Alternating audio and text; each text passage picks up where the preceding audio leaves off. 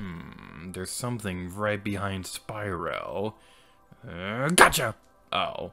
Oh, oh, you win this round. Gotcha! Hmm.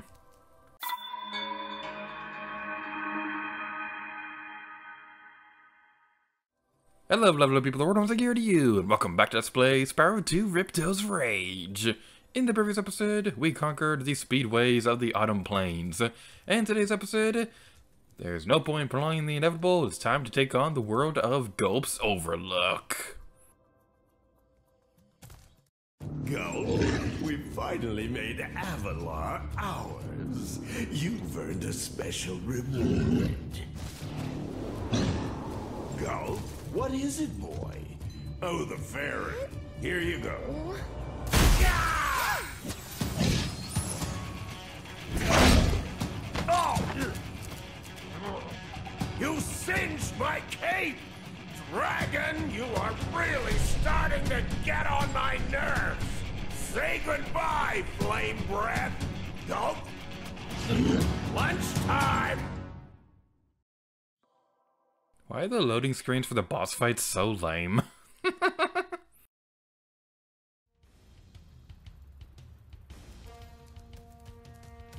I hate this boss fight.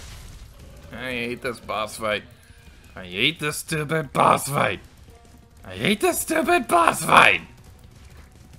Okay. This is Gulp. Easily the worst part of the entire game. So, basically, how this is going to work is that there's going to be firing some energy balls around the area, which you need to be careful of, because the camera was not nice enough to zoom out far enough for you to be able to see where it's landing and where it's going to be firing at. So you need to be careful about that, and keep in mind that the radius of the energy will also stay around after the second one appears. So that one appears, and then stays around in time for the other one to ruin your life as well.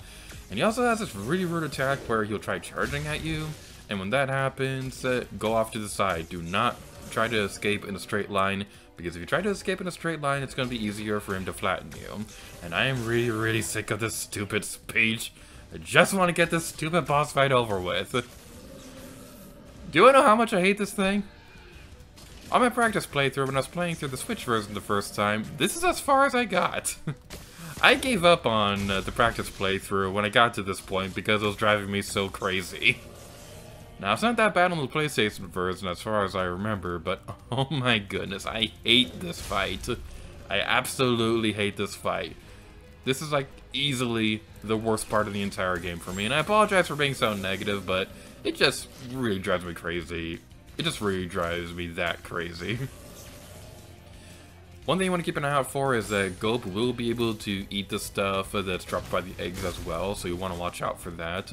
Uh, looks like um, Gulp ate a chicken, so restored a little bit of health, which is really, really stupid.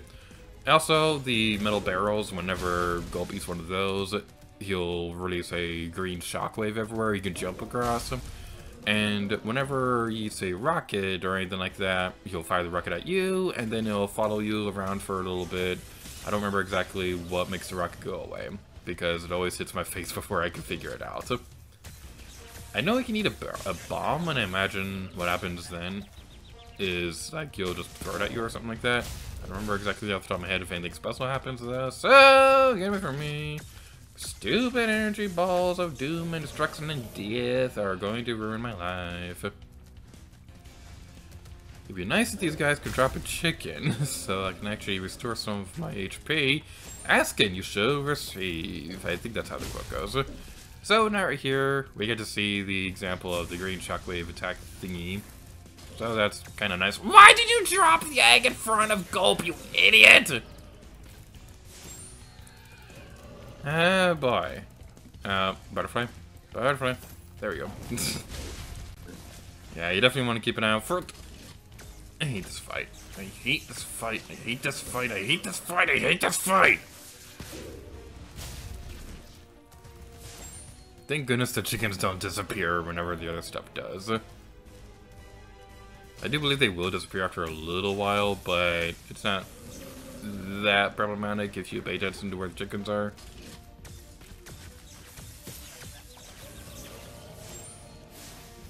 Whenever you see a bomb like that, you'll want to use a flame...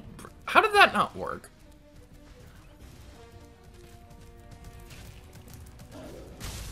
Okay. Man.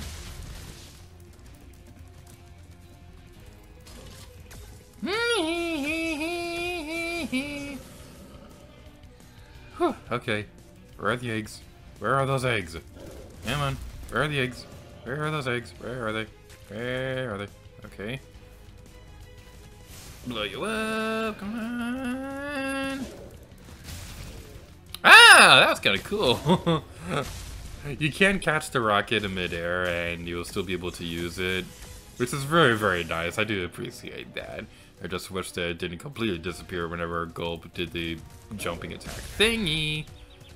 I told myself earlier not to go in a straight line, and I did it anyway, and I've said it repeatedly during this recording session because how many times I died during this stupid thing.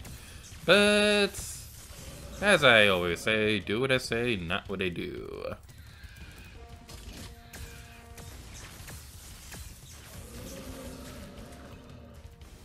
That technique seems to work pretty well where with the energy balls where you keep zigzagging back and forth as you go forward and also seems like trying to stay close to Gulp is also pretty helpful for avoiding the attacks. Eh, but this boss fight still sucks.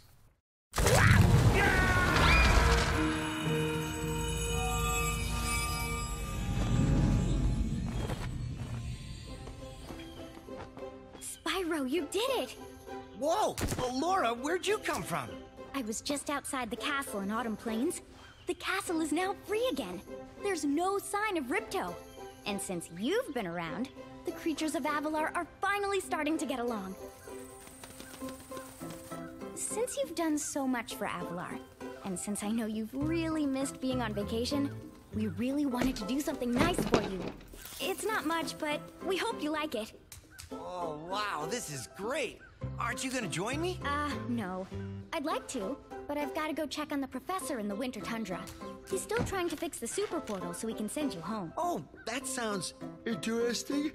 I think I'll just hang out here for a while and soak up a few rays.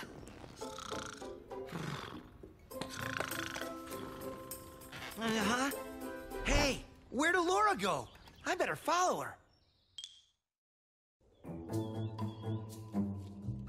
I think I've finally come up with a way to access the Dragon Worlds from the Super Portal. This power crystal should give us the extra boost that we need. Just a few more calculations to set it up. I think I have it. Excellent. Everything is finally ready. We're going to need a lot more orbs, but with the power crystal boosting it, the super portal should work again. Oh! Ah! You thought you had gotten rid of me. Well, I'm afraid not. I persuaded that fat bear Moneybags to sell me a few bombs. Quick, the power crystal! Don't even try it, book boy, or you'll be the world's smartest pile of ashes. This is just what I need for a new scepter. Hunter, do something, quick! Uh, hey! Give that back! Well, I tried. you little fools! After I destroy you all with my new scepter, I'm going to rename this place Riptonia!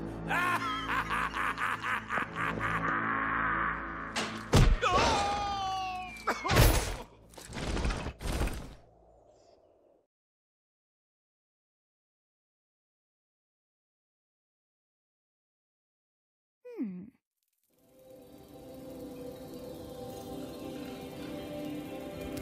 Spyro, Ripto's still alive, and he's locked us out of the castle.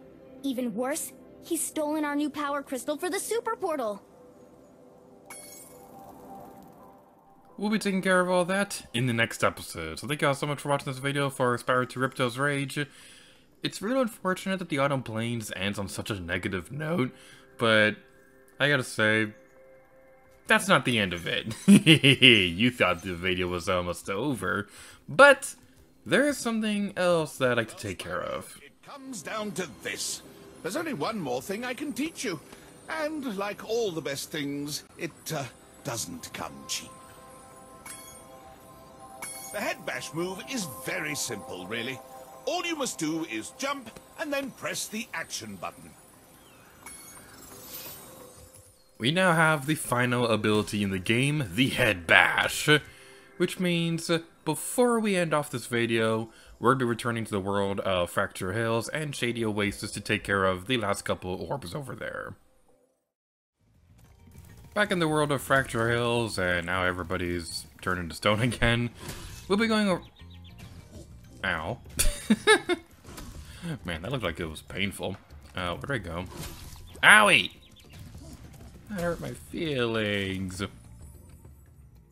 That gate thought it could prevent us from going around, but now! Ha ha ha ha! Stupid wall. You're kidding me. I gotta do this.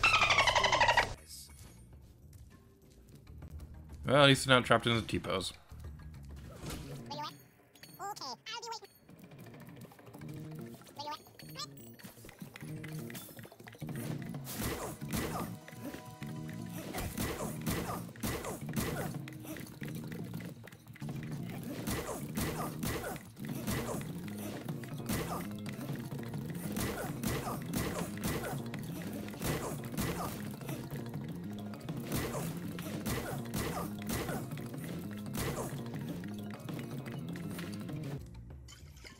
I guess one thing of advice that I could recommend if you're having trouble with that last one is remember that he never really comes into contact with the other Earthshaper, so you can really just uh, keep attacking the one guy and you should be okay.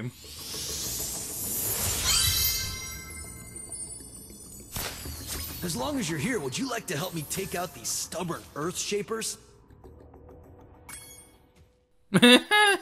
Kick Earthshaper butt. All right. When I shoot an Earthshaper with an arrow, you head bash him before he gets back up. Remember, head bash by jumping and then pressing the action button.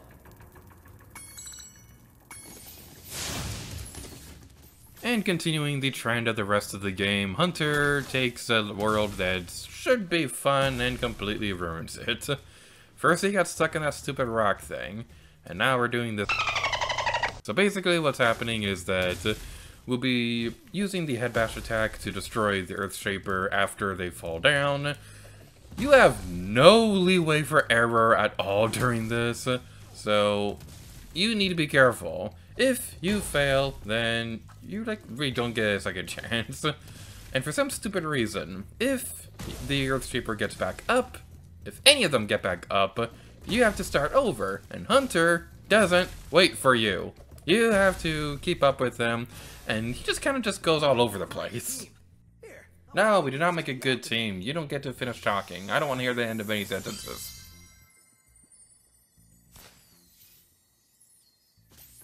I swear we're gonna end off the Autumn Plains on a high note. well, we got all the orbs collected and 100% level complete, so that's pretty nice. Next stop, Shady Oasis. Please redeem Autumn Plains.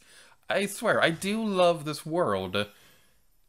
But we're just kind of ever ending everything off on a pretty negative note, and it kind of makes me sad because I love the Autumn Plains. Within the time that it took to open up this thingy again, my capture card ran out of memory, so that's always a good sign.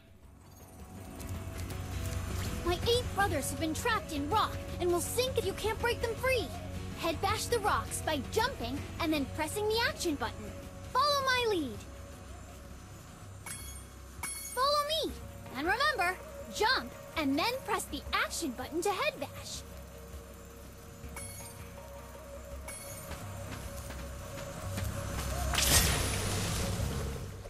Basically what we'll be doing right now is that we'll be using the combined forces of the head bash ability and the super armor thingy to be able to save the hippos. The hippos are going to be in petrified rock and things like that. You don't really have a lot of leeway to save them. It's kind of like that mission that we took care of in um, the Fracture Hills. Although you have a lot more uh, room for failure in this one than you do in the other one. Because Hunter is not involved, so this level is cool. that hippo in the background!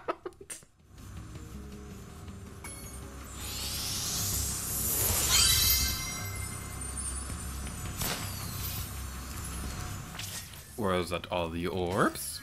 Yes, it was. so I believe the last of the gemstones are going to be in that thing. So, head bash! Yay! 400 out of 400, that's a complete fraction, and 100% level complete. So yeah, I guess we did end off this place on a pretty good note. Sir, we, you know, fought the worst boss fight in the entire game, and it's like the lowest point in the entirety of the Reignited trilogy, at least in my opinion. And we've also taken care of another level that involved Hunter, but at least the Hippo level was pretty fun. Now that we have access to all the worlds, uh, we can go back into the Summer Forest over there. And another portal has opened up that'll take us to the Winter Tundra. There's also going to be another portal close to the very beginning of this world as well. That one will also be close to the Summer Forest portal.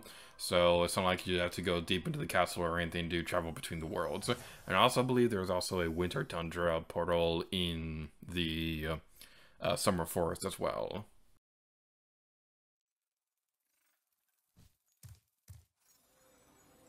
So taking care of all that, we're this video off here, and let me just say, we have a lot of cool stuff coming up. The Winter Tundra is awesome.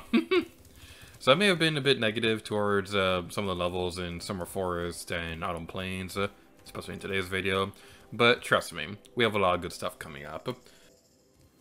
So after taking care of all that, we're in this video off here. So thank you all so much for watching this video for Spyro 2 Ripto's Rage. In the next episode, we're to begin exploring the Winter Tundra. And next time, to gear to you. Oh yeah.